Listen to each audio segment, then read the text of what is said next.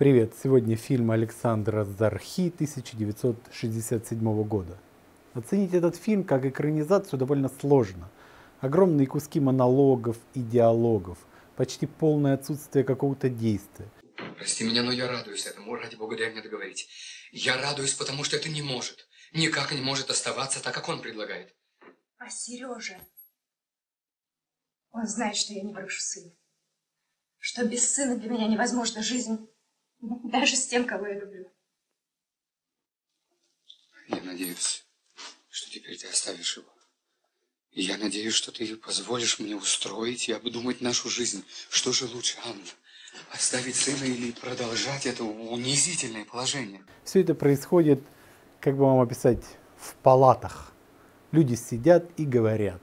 Говорят нудно и длинно складывается ощущение, что это не сценарий, продуманный, с продуманной историей, определенным ритмом, концепцией, а вырванные из текста э, романа наиболее близкие режиссеру сцены и эпизоды. Однако понятно, что это так не работает. Это здание идеально. Если из него вынуть пару кирпичиков, оно рушится безвозвратно.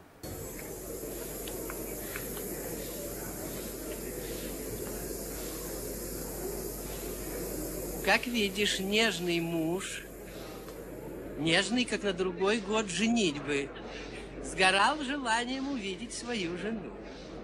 Еще одна проблема почти всех экранизаций и постановок.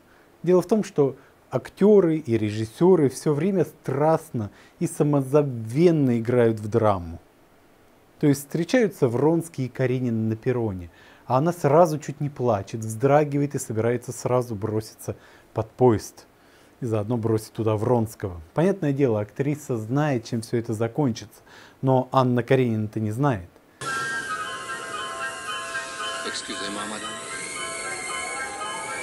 Вы? Могу ли я служить чем-нибудь? Я не знала, что вы едете. Зачем вы едете? Зачем я еду? Я еду для того, чтобы быть там, где вы. Я не могу иначе. Для нее это волнительное чувство. Ей восхищены, из-за нее совершают безумство. Она, конечно, отрицает то, что ей это нравится, но ей это нравится.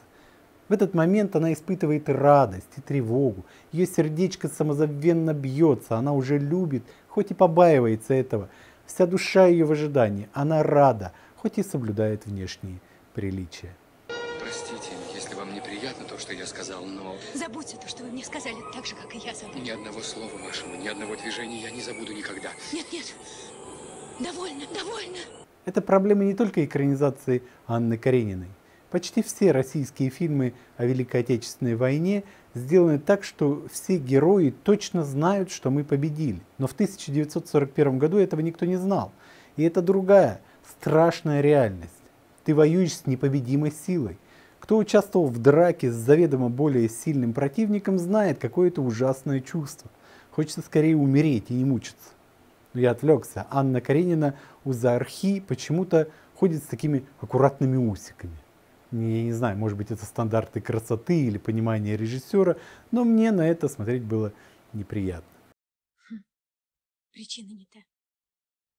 Я совершенно в твоей власти. Какая же тут неопределенность? Напротив, Василий Лановой в роли Вронского хорош, пока молчит.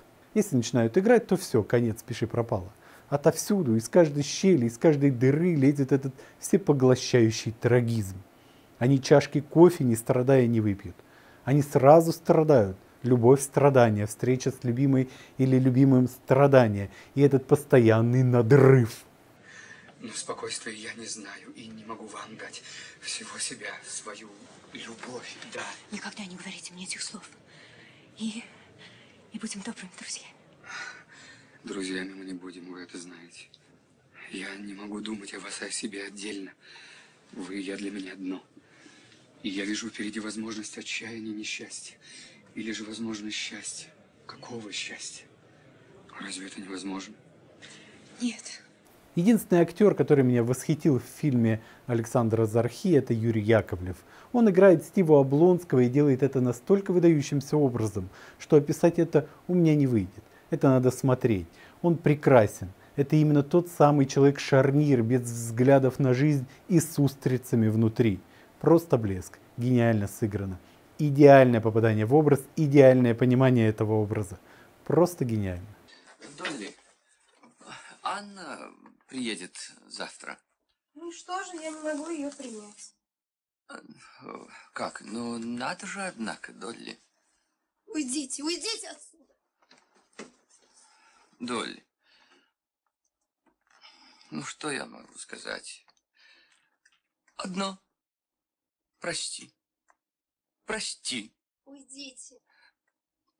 Вспомни. Разве девять лет жизни не могут искупить минуты увлечения? Уйдите. Не говорите мне про ваши мерзости. Долли, ради бога, подумай о детях. Они, они не виноваты. Ну, накажи меня. Накажи. Его нет слов, чтобы сказать, как я виноват. Ну вот на этой позитивной ноте, пожалуй, и закончу на сегодня. Подписывайтесь на канал, жмите лайки, ставьте палец вверх или вниз, если вам не нравится видео. Жмите колокольчик, делитесь этим видео в соцсетях и будьте смелыми в драке даже с превосходящими силами противника. Оно того стоит. Удачи, пока.